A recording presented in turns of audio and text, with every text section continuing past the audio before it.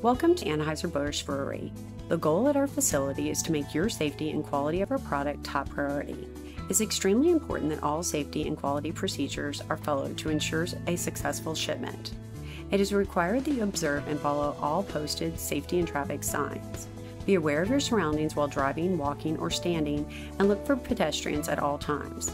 Stay in your vehicle during the loading process. Drivers are not permitted to be on the loading dock or in the warehouse unless directed by authorized personnel.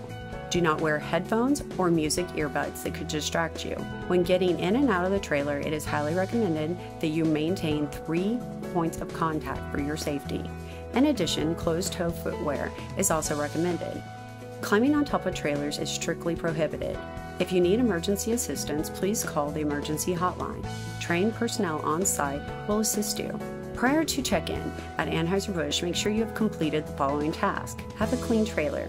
Trailer conditions and cleanliness are a critical element in preparation for loading at our brewery.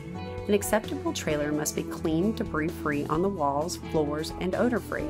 Additionally, the structural integrity of a trailer is crucial Trailers with holes in the floor, walls, or roof are not permitted. Any discrepancies could result in trailer rejection. All trailers are inspected prior to entering our facility to ensure this criteria is met. Second, arrive with sufficient fuel for your load. Third, you must also have at least two load locks and or straps to properly secure your load. Fourth, unloads must be stacked properly with no down product. And lastly, know your shipment and or pickup number for your scheduled load. Check-in procedure. Once you have pulled onto the inbound truck scale, exit your truck and check in using the driver kiosk.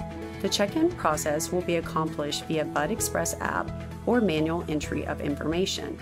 At this time, you will enter your pickup number, first and last name, cell phone, and confirm the destination of your load.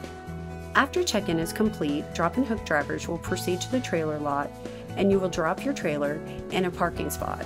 Once you have connected to your outbound shipment trailer, secure your load, adjust your tandems, and proceed to the scales. When adjusting your tandems, be aware of your surroundings to prevent injury and damage.